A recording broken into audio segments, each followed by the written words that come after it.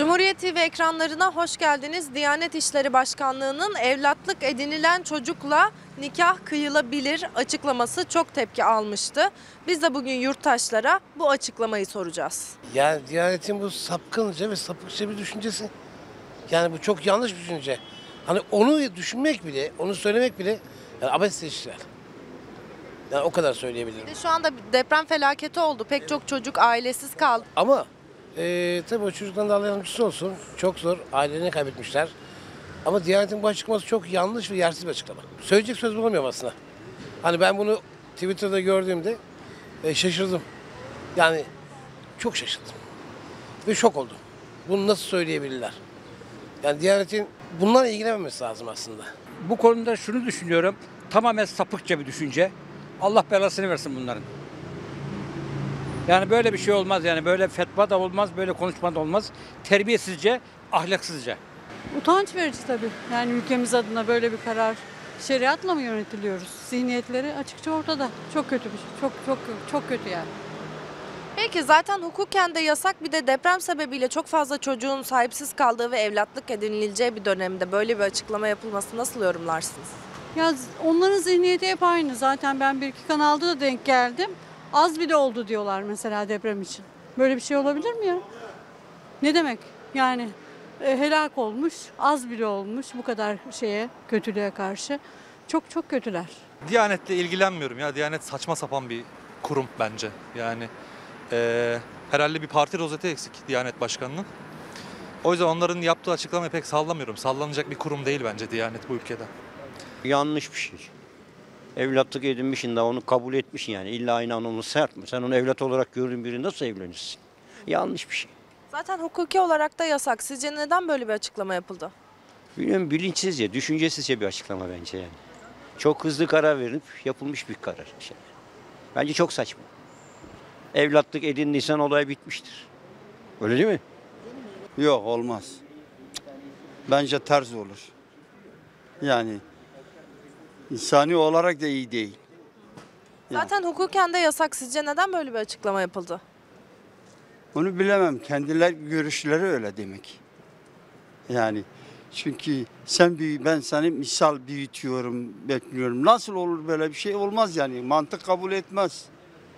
Öyle bir şey olamaz ya. Dinimizde de, görevimizde, örfümüze, adetimize hiçbir şey uymayan bir şekilde.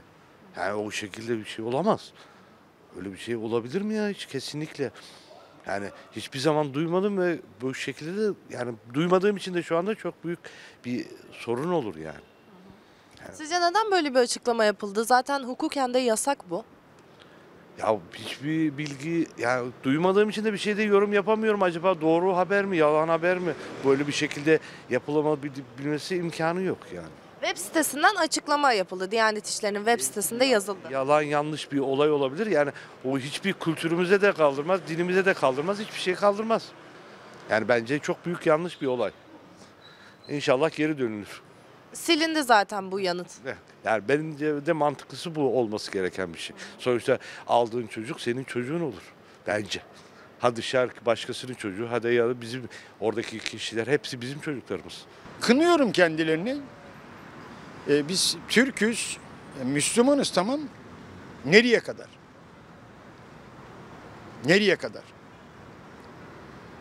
Bu kardeşlerim de işte hepsi bu ülkede yaşıyor.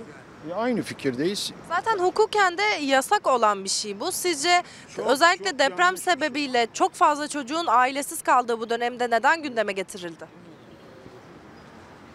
Yani her böyle uygunsuz zamanlarda açıklamalar oluyor. Biliyorsunuz Atatürk'ün bir Kur'an-ı Kerim okunurken 10 Kasım'da değil mi? En önemli günlerde Atatürk'ün ismini anmıyorlar ya. Böyle bir şey olabilir mi? Adamların aklı fikri apış aralarında ya. Yemin ediyorum ya olacak bir şey değil. Nasıl aklına gelir bir insanın böyle bir şey ya? Yani her konuda böyle ama sırf bunda değil. İşte geldiler 6 yaşında çocuğun evlendirerek mahkemesi var. Onun önünde mahkemeyi protesto ettiler ya. Düşünebiliyor musun? Bu olabilir mi ya?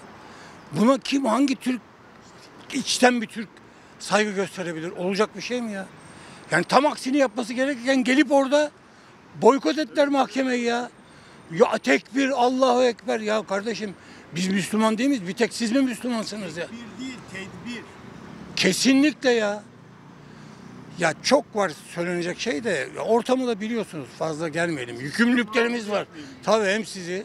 Ha ben şimdi burada konuşsam yayınlayamazsın ki. YouTube'da bile yayınlayamazsın. Yani onun için konuşmayayım hiç. Ne düşünüyorsunuz? Ya üzerine konuşulmaz bile.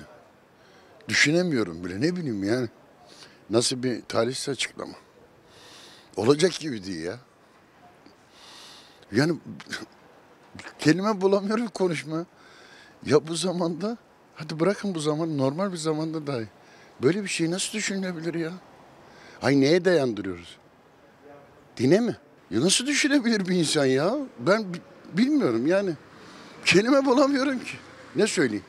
Zaten hukuken de yasak. Sizce böyle bir dönemde dediğiniz gibi. Hukuku da bırakın ya insanlık olarak ya.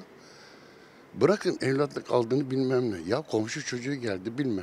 Ya biz ben İstanbul doğumluyum. Biz mahalle kültüründen büyüdük. Bütün bizim mahalle, komşular hepsi aile gibiydik ya. O evde olmaz, o onu doyurur, yatırır, eder, şey yapar. Ya böyle bir şey bize çok ters bilmiyorum. Yani kelime bulamıyorum ya. Bırakın dini bırakın, kanunları bırakın, şeyi bırakın. Ya böyle bir şey düşünebilir mi ya? Ee, yani öyle bir şey olmaz. Yani İslam'da da zaten normal evlerde evlenemiyor ama evlatlık ettiği çocukla da evlenemez diye düşünüyorum. Yanlış bir görüş yani. Sizce neden böyle bir açıklama yapıldı? Ee, yani manevi evlatlık gibi düşünüyorlar galiba. Ee, maalesef öyle bir açıklama şey kötü bir açıklama yani. Olmaması gereken bir açıklama. Ee, hiçbir hoca da onu tasvir etmez zaten. Evlatlık çocukla evlenebilir. Öyle bir şey olur mu? Zaten hukuken yasak. Tabii ki yani. Hani öyle bir şey olmaz yani evlatlık çocukla evlenir? Ha, bakmak amaçlı ayrı bir şey ama o şekilde bir şey ol- olamaz yani. Düşünüyorsun. Evlenilmez efendim. Evlenilmez. Öyle bir şey olamaz yani. Neden böyle bir açıklama yapıldı sizce? Çünkü o evlatlık alıyorsunuz siz onu. Kendi evladınız gibi görmeniz lazım. O yüzden olmaz yani. Valla doğru bir açıklama olarak görmüyorum. Yani bunu kimse kabul etmez herhalde. Ha, benim fikrim bu yönde. Şu anda da bir afet yaşandı biliyorsunuz. Pek çok çocuk evlat ediniliyor bu dönemde. Bu açıklamanın gelmesi tesadüf mü? Neden böyle bir açıklama yapıldı? İşte ebeveynlerine bağdaştırılamayan çocukları e, ebeveyn sahibi yapmak amaç herhalde ama yolu bu değil diye düşünüyorum ben. Benim içim el vermez valla cidden. Hiç tahammülüm yok öyle şeye. Neden böyle bir açıklama yapıldı sizce? Vallahi bilmiyorum böyle açık hangi kanal? Ha. Yok o, niye böyle bir açıklama yaptı Diyanet'in bazı şeylerine pek güvenemiyorum. Onun için cevap veremeyeceğim. Ben